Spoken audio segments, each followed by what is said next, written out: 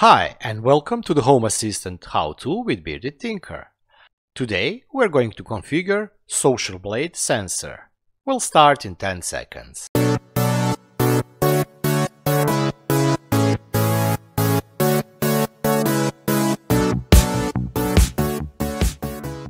Social Blade sensor gives you information about a YouTube channel.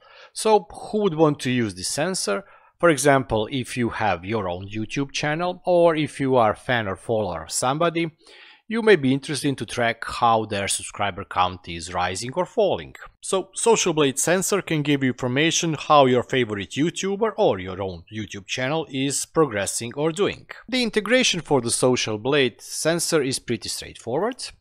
First thing that you have to do is you have to go to the Social Blade website and you have to find your favorite YouTuber. So for example, let's say Dr. Z's.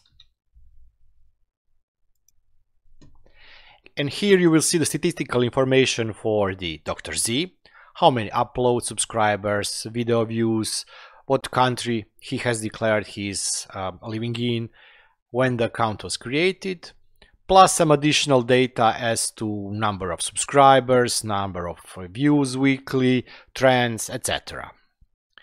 For this integration to work, what you need is you need to have this user ID that Social Blade is tracking and you have to copy it. Let me find my channel. Okay, so this is Bearded Tinker, this is my channel. As you can see, statistics are almost the same as DrZzs. This is my number and I'll copy it. Next thing we have to do is we have to go back to the Home Assistant.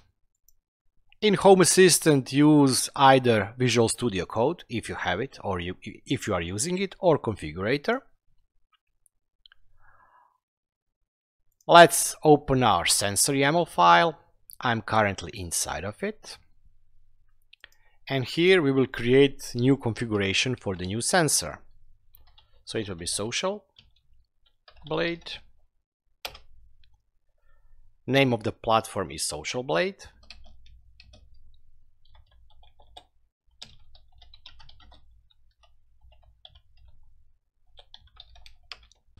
And the only additional information we have to add for configuration of this sensor is channel ID.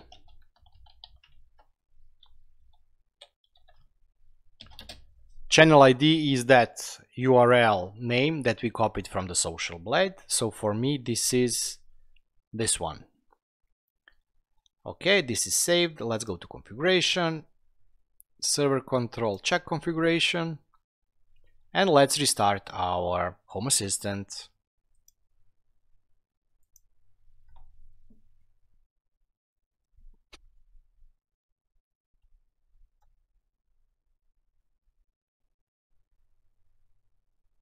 Okay, our Home Assistant is back. Let's go to Overview. And we can now create visual representation of our server of our sensor. So let's create new sensor. Social blade. Okay. Let's see if we can, no, we cannot get graph because we have this K. Unfortunately, YouTube changed the way it gives the information about subscriber count and now it only includes uh, three digits, so three the leftmost digits. Let's press save. And here I have information about my YouTube channel uh, subscriber count. And this sensor, unfortunately, it will be a bit harder to track it in terms of the value because it is not a number, it is a string probably you can do manipulation and remove the last character and get the number from that. But it's also nice to combine it, for example, with the uh, Home Assistant Community Store integration with YouTube, where you are able to pull the current information about the latest video from your uh, YouTuber. In this example, we are pulling the information about the latest video from Frenck. But this is it for today's Home Assistant how-to. I hope you enjoyed this video. If you did, please give me a thumbs up. If you have any kind of a comment or a question, you can of course ask it down below in the comment section or you can join us on the Discord server. If you still haven't subscribed, please subscribe and hit the bell button so you get notified on the future updates and I will be seeing you next time. Until then, bye bye and have fun.